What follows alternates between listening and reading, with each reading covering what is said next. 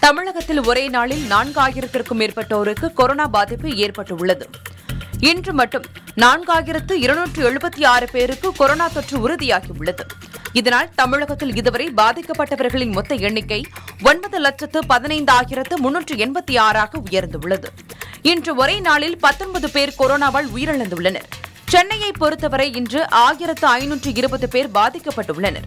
அதேபோல ஆயிரத்து எண்ணூற்று அறுபத்தி ஒன்பது பேர் இன்று டிஸ்சார்ஜ் செய்யப்பட்டு வீடு திரும்பியுள்ளனர்.